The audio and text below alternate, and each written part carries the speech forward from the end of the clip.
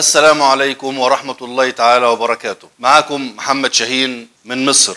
الآن أحدثكم من تايلاند. نقدم لكم قناتنا على اليوتيوب قناة تايلاند محمد شاهين عجائب وغرائب. الهدف من القناة تقديم عمل مفيد. عايزين نشوف حاجة نستفيد منها.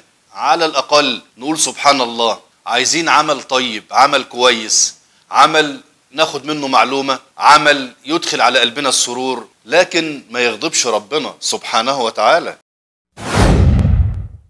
الهدف من القناة الأثر الطيب.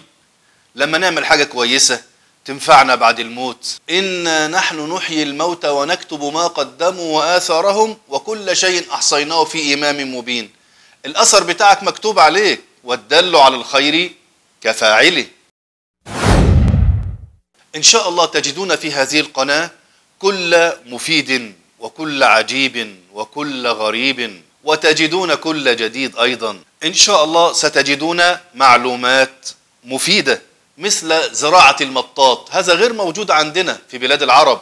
المطاط منتشر هنا في دول جنوب شرق آسيا. إيه هو المطاط؟ إزاي؟ نعرف الناس ونشوف الناس وهي بتجمع المطاط ده بيتجمع إزاي. نتعرف على الفواكه الجديدة. فواكه مش موجودة عندنا. فاكهة الدوريان. فاكهة ما شفناهاش قبل كده. ممكن نقدم لكم شيء فيه ترفيه لا مانع. مثلا مثل القرود. نجد قرود قردة يعني. في كل مكان هنا وهنا وهنا يتحركون. نصور معهم. وقد نتصور نعطيهم الطعام. وممكن نقدم نصيحة لكن بطريقة بأسلوب كويس. يكون فيها شيء كده من الإيه؟